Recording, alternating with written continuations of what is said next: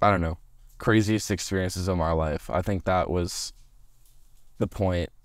Like, I don't know. I don't think I could ever go back from like who I was before that to like doing this entire thing. Yo, what's up? It's Zak Hilton, and while you're sleeping, I'm making history.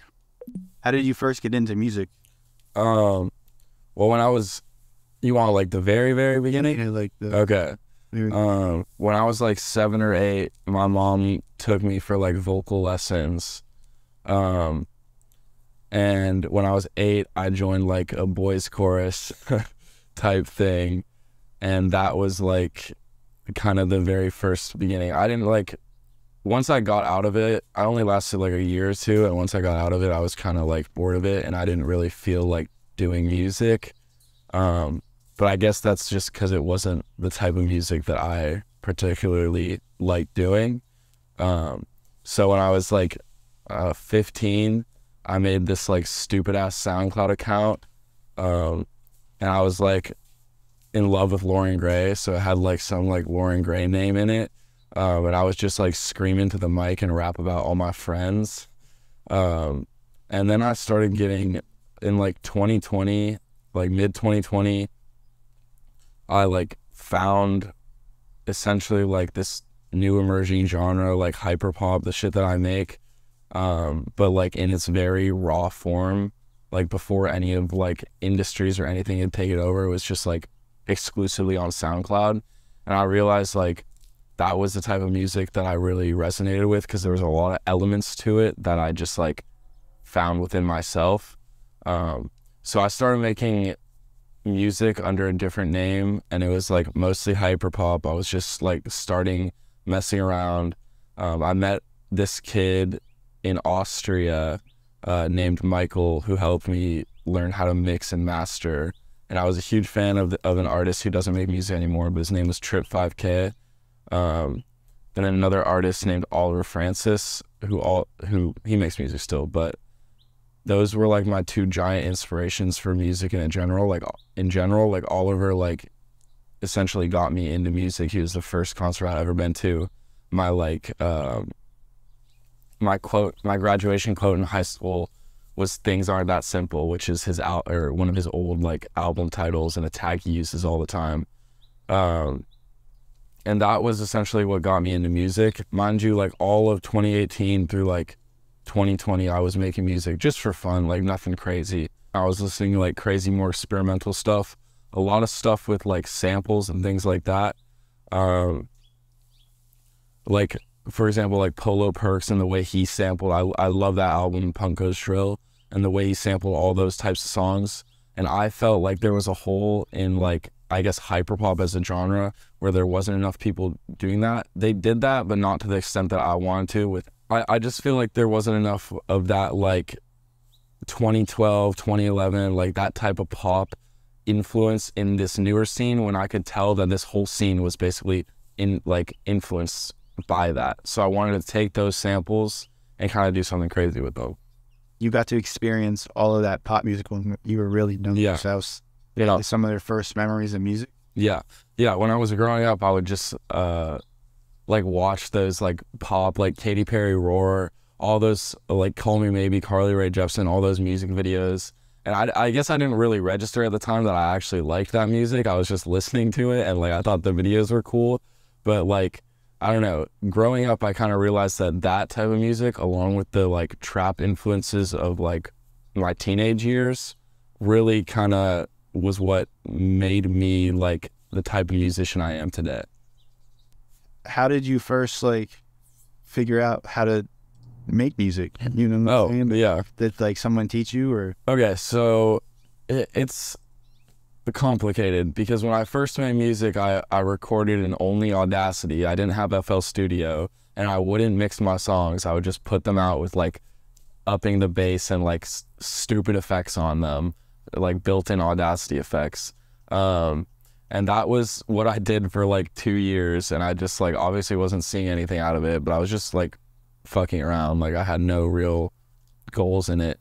Um, but then when I, in 2020, when I was making music under a different name, I met I met like my friend in Austria who took um, like mixing and mastering lessons from this other artist Trip 5K, um, who I mentioned previously, and like through that I would have him mix and master a lot of my songs, and you'll see that on old Zak Hilton songs he's still the the like mixer and the master. Um, but after that, he gave me a couple presets, and I started like messing around with EQs and stuff and then I just got like really into mixing my own vocals and like selecting the beats that I really really wanted to hear myself on and felt like more people needed to rap on. That that friend from Austria. His name is Michael and I don't uh, he's still doing good right now, but we haven't talked in a minute, but he's cool.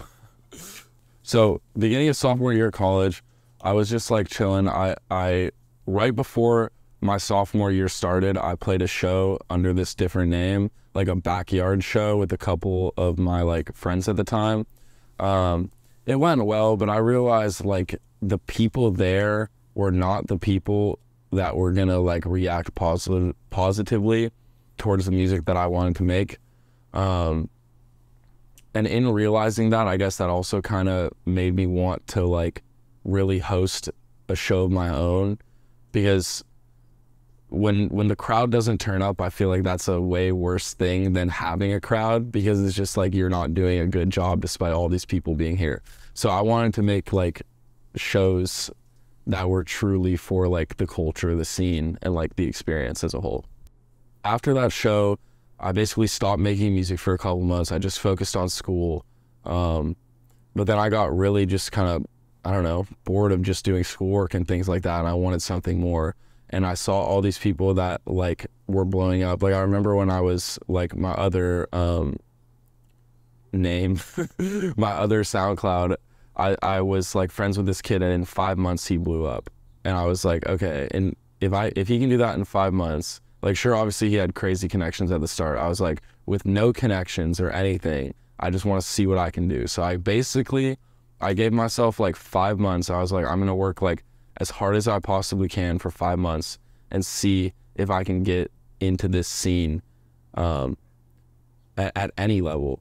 And in doing that, I just created a name. I was listening to a lot of PBG Casper and I heard his song Paris Hilton. And I was like, that is like the embodiment of kind of what I want to make mixed with my own artistry. Um, so I named myself Zak Hilton uh, Zak is just like this, I don't know, 2000s fuckboy ass name, especially with no C. I feel like that's a very, I don't know, just fuckboy name. And then Hilton, of course, for Paris Hilton. And I dropped my first song, I think it was November 27th, 2021. It was like, I don't even know, swag, swag, swag, hashtag, hashtag pretty boy swag or some shit. And I, it did like, obviously, like not great, but like really well considering I had no following or anything. So I made a new Instagram. I started like building that shit up, growing. Um, and I was able to just put out tracks that were consistently good and that people liked and like just grew a fan base from there. And I can tell that like the people that follow me like really do listen to me and really do like enjoy what I put out and even my content on Instagram and things like that. So like a couple of times now you've leveraged the internet. Yeah. Like uh obviously that was a very crucial point with like everything in your music making and yeah. honestly daily life anymore. Yeah. You know, what are what are some some like tips that you can you can give people or artists starting out yeah. on like how to use the internet? How to use the internet? Yeah. Um well, first thing, make your songs over two minutes so the SoundCloud algorithm hits them. but second of all, just I mean, it's it's hard to say this, but put out genuinely like good music that you think people and yourself um, will enjoy, and there's time to come back on. And then also using the internet, you also need to be ta- like talking to your fans. Like that's a crucial part. Talking to people who support you. Um, and in order to gain those fans initially, you just have to link up with other artists. Like talk to other artists who are in the scene that you want to be in and see if you can make something out of that. Even smaller ones, like they don't, you don't have to go for someone who has 20k followers. They're never gonna reply to you. find someone on SoundCloud who has like a hundred and is making genuinely good music with like crazy mixing because there's a ton of those people out there that no one sees and hit them up and make something with them because I'm sure they would love to. Yeah, that's that definitely a big thing and something I always see all the time. Like you really need a strong community. Yeah, um, a hundred percent. Your community is like the whole world now. Yeah, because of the power of the internet. Exactly. Yeah, it, people knew me from high school as my old like SoundCloud, and I just really did not fuck with that. Um, so when I started Zak Hilton, it just felt like a completely fresh start, and the only people that were like talking to me were just random people from the internet, and they were all supporting me. So it was like a completely different experience than like people from high school like shitting on me behind my back, and obviously that was like valid because I was making bad music. Um, but like, I don't know, with Zak Hilton, it just felt like fun again. You know what I mean? Okay, yeah, that's like a really important couple things there because one, you're enjoying what you're doing. Yeah, you know that's that's really important to make good music. You need to actually enjoy it. Yeah, yeah. But then two, you talked about like how you knew some people were hating. Yeah, you know. Yeah. How did how did that feel? But like, how did you rise above it? I mean, I, I still like, I don't know. It's it's hard as like even an internet persona because when you get a little bit of hate, it's still kind of like, uh, that's kind of annoying.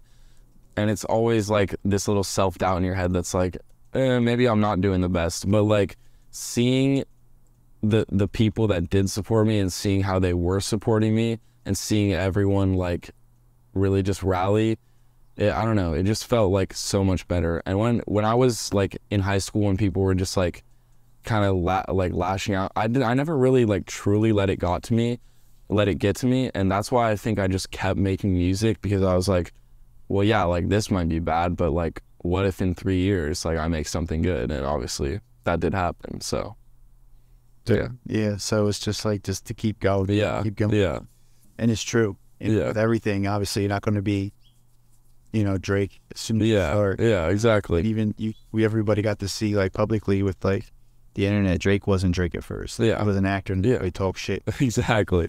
He was acting. So stop making music. But now that you created Zak Hilton, what was the first moment where you really felt like, oh shit, like I really, this is starting to work?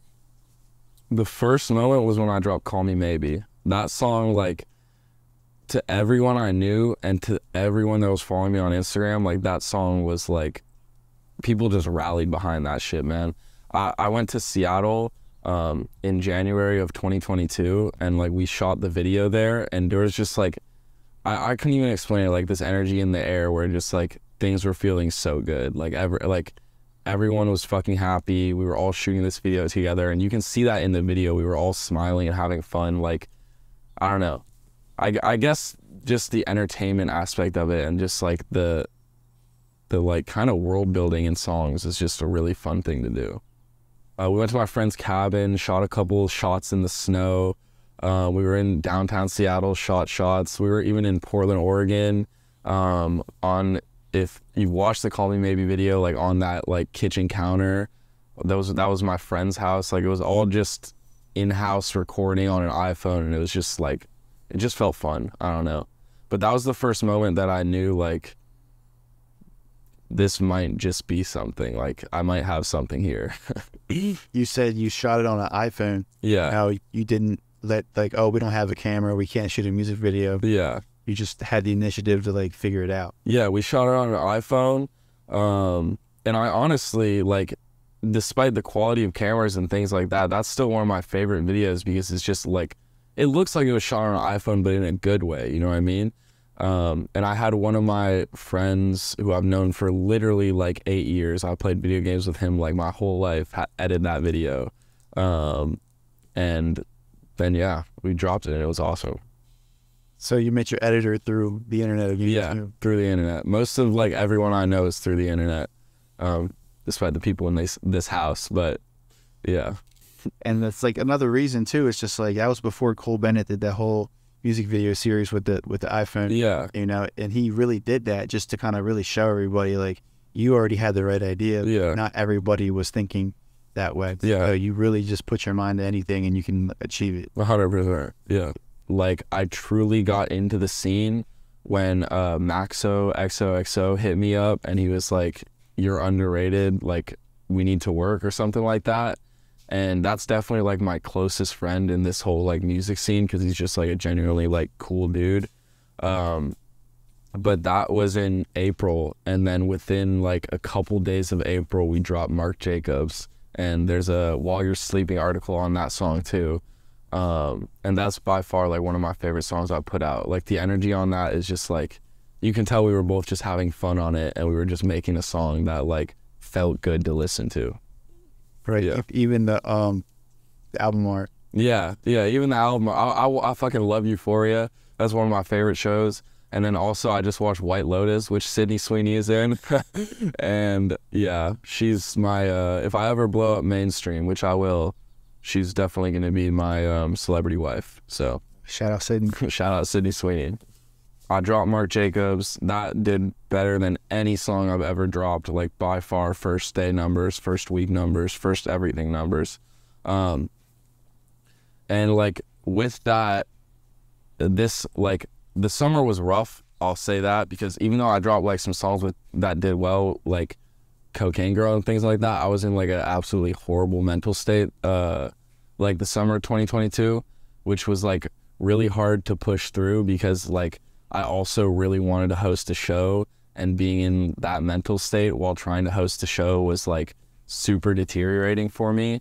But I still like within God, I I think we started planning it in June, but within like the first God, I think the first week of July, we had most of the lineup and things like that secured um, for this show, Pop Stars in LA. Um, and I, I, I managed to do that because because through Maxo, I made all these new connections and things like that, like Barely Human and Syris and and Baymac and shit and shit like that. Um, and Baymac was already hosting a lot of shows in LA, and I wanted to get my hand in that. He sent me the venue. I got the lineup secured. I paid the uh, the like venue shit, and then I got a lot of help from Jackson too. Um, but then yeah, so July came around. I was dropping decent songs.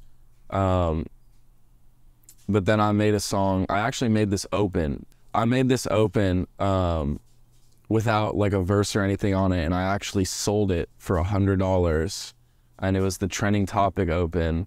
Um, and I sold that months before I dropped it. I dropped it in August, but I realized like Jackson listened to it again. And he was like, "Bro, this is like one of the hardest songs I've ever heard. Like you have to buy this back." So I sent the dude who bought the open his hundred dollars back.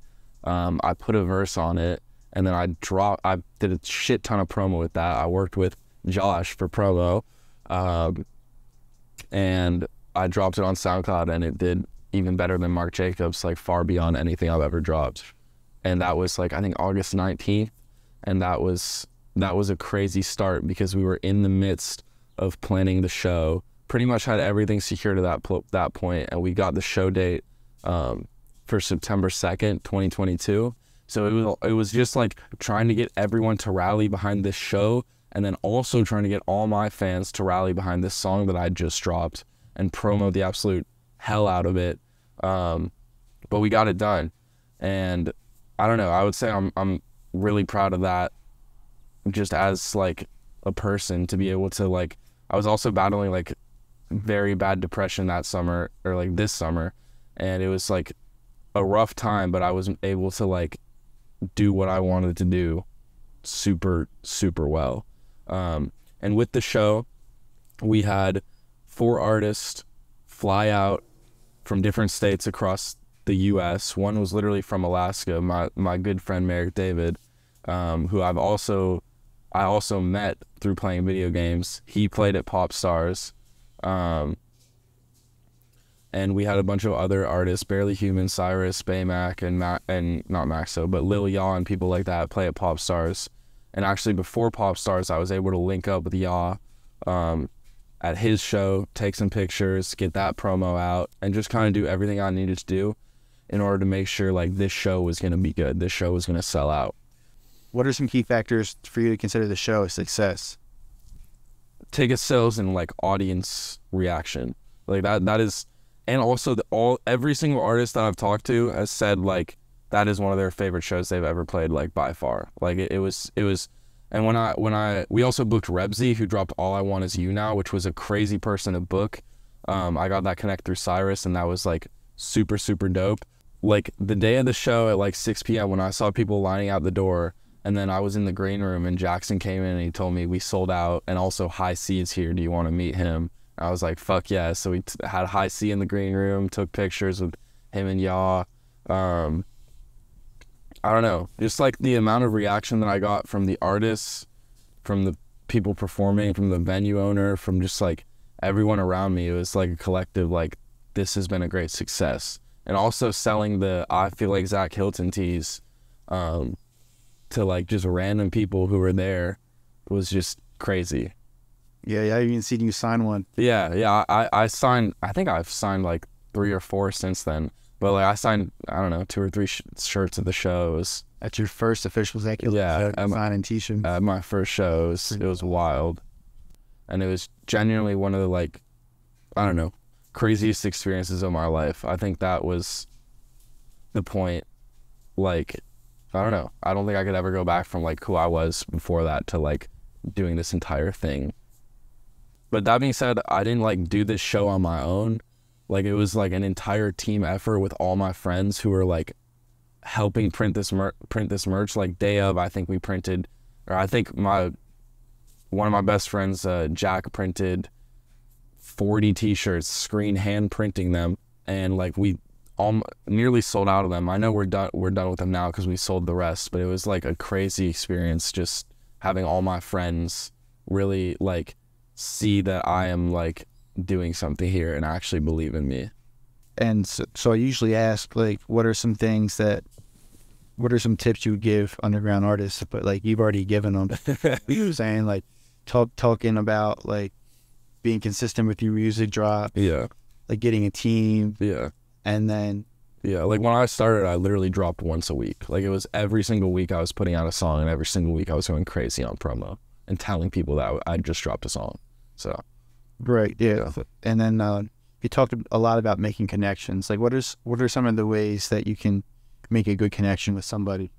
I, I mean, like I struggle with keeping connections because I, I'm like low key an antisocial person, but but to make the connections, I you just like in music, you have to actually be putting out stuff that like people want to listen to, and be putting out stuff that like bigger people will will recognize as like, damn, this is like kind of a hit, and like this should have way more plays than it does, because usually bigger people know that, and if you can like if you are able to get a bigger cosign, it helps like with everything because as soon as you get like one person who's in the scene to really really fuck with you, everyone else starts fucking with you.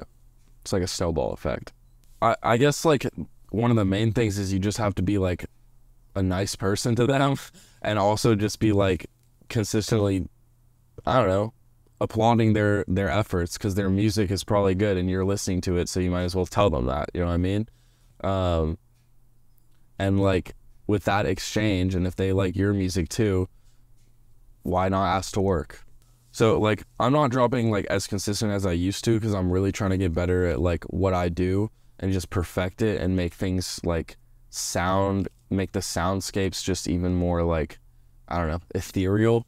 Um, and like with that comes a lot of time to like think about what I want to do next and build more like videos and show ideas and just like ideas for how to how to market like even video shoots that are open to the public and things like that um but that I don't know all that is coming in 2023 with like plans to to do shit like that. What are the first three songs someone should listen to if they haven't checked you out yet?